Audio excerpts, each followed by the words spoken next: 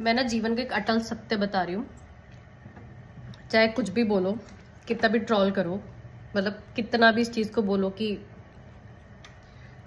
You you no know, ये कोई privilege की बात नहीं है and all that but being a toddler mother शांति से अपना खाना खाना at least for ten to fifteen minutes और twenty minutes and if you are more privilege then more than twenty minutes is not less than a blessing.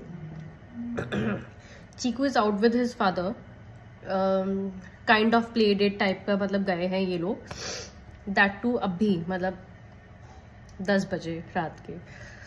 Toilet माई कुछ भी कर सकते हैं टॉडलर्स और I am having my nachos since I was very like बहुत बीमार चल रही हूँ। मैं तो मेरे टेस्ट बर्ड बिल्कुल ख़त्म हो चुके हैं।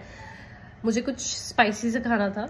तो I have ordered you know baked nachos from Brown Sugar and also Cheeku के लिए ट्रीट भी cake he is fond of cakes these days like उसको ऐसा लगता है कि बस केक खिलाते कोई पूरे दिन भर ऐसा वाला। And it's been more than fifteen minutes मैंने अपनी लाइफ में आई डोंट रिमेंबर कि लास्ट थ्री ईयर्स में इतनी शांति से मतलब बैठ के that too some you know कुछ एग्जॉटिक सा खाया हो बहुत पीसफुली एंड Uh, मैं काफ़ी टाइम से कोई वीडियो नहीं डाल रही हूँ बिकॉज़ काफ़ी ज़्यादा बीमार चल रहे हैं मतलब मैं बहुत ज़्यादा बीमार चल रही हूँ. मेरी बीच में तो आवाज़ बिल्कुल ऐसा हो गया था निकल भी नहीं रही थी. And there are so many things which are going on I am I am planning to start some business मतलब मतलब कुछ काफ़ी सारी चीज़ें जो चल रही हैं बैकेंड में तो नहीं कर पा रहे थे video but after so many days Sharma ji आए नी सैड कि मैं इसको लेके जा रहा हूँ. मतलब वो बहुत uh, चिड़चिड़ कर रहा था uh, उसको बाहर जाना था इसलिए वो शाम को बाहर नहीं गया था. तो हम उसको वो उसको लेके चले गए. एंड दवाइयाँ खा खा के मेरा टेस्ट बट बहुत ज़्यादा गंदा हो चुका है। मुझे मतलब कोई भी चीज़ में टेस्ट नहीं आ रहा था तो मुझे कोई स्पाइसी जैसे मैंने बताया स्पाइसी खाना तो मैंने ये ऑर्डर किया। इनफैक्ट पानी पूरी, भेल पूरी, ये सारी चीज़ें मैं खा के देख चुकी हूँ, मुझे उनमें भी टेस्ट नहीं आ रहा है।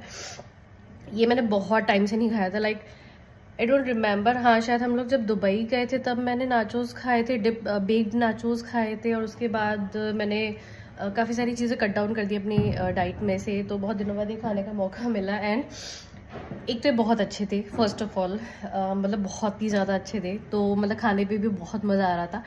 प्लस जब आप कोई चीज़ तसल्ली से खाते हो ना मतलब वो भी बहुत टाइम बाद तो उसकी जो वैल्यू होती है ना भाई इनकम्पेरेबल है। मतलब उसकी आप क्या ही बोलोगे मतलब मैं निशब्द हूँ उस टाइम पे।